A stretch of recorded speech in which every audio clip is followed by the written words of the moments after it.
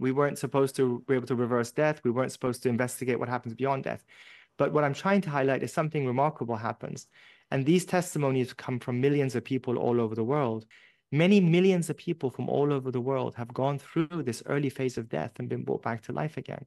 And incredibly, what they report consistently, and, and just to illustrate, we've studied this in thousands of people using many different scientific methods, is that consistently what people describe is that even though from the outside perspective, they look like there is no consciousness, there's nothing, and they're supposedly dead, internally, they go through a new experience where they feel that their own consciousness, their selfhood, becomes suddenly vast and it becomes more lucid and more sharp than anything they've experienced before. They have a perception that they separate from themselves and are able to gather information about what's happening to them as doctors and nurses are trying to revive them. And they're gathering this information almost like in 360 degrees. And they come to recognize that it looks like I'm dead. They're, they're trying so to save me, but I'm not dead. Yeah. So those movie and, scenes of someone looking at the scene, looking down on the exactly, you know, on the operating table where they are dead. Those exactly. are those are not so far fetched.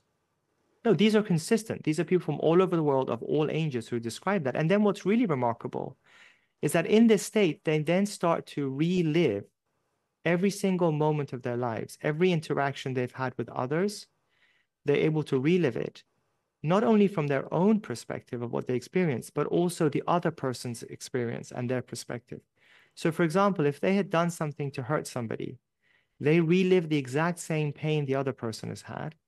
And if they've done something that caused happiness in other people, they relive the same happiness, but now multiple times over. But how can that be possible within such a small amount of time? You, you can't possibly run through all that in, you know, seconds, can you? Well, of course, I, I, I hear you. Nothing about this is what we expected it to be. We weren't supposed to be able to reverse death. We weren't supposed to investigate what happens beyond death. But what I'm trying to highlight is something remarkable happens. And these testimonies come from millions of people all over the world.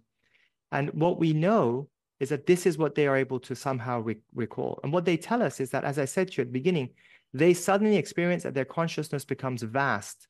It's almost like think of the analogy of an iceberg where most of our consciousness we don't have access to. You, you and I can't remember fraction, more than a fraction of our lives now if they asked us to.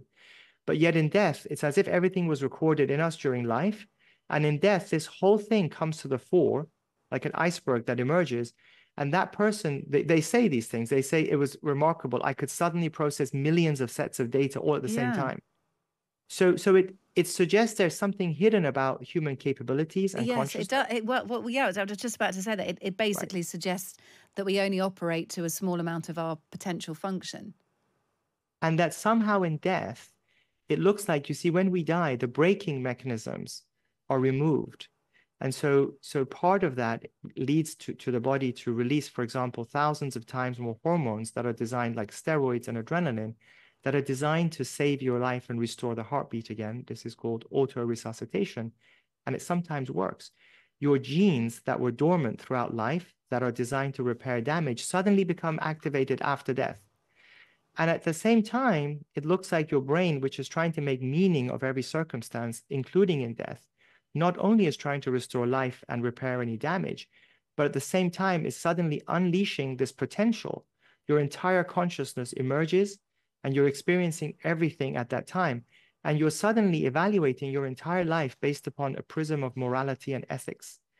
And that's why when these people, of course, many of them don't come back, but when they do come back, they're positively transformed because they recognize that there had been a deeper purpose to life.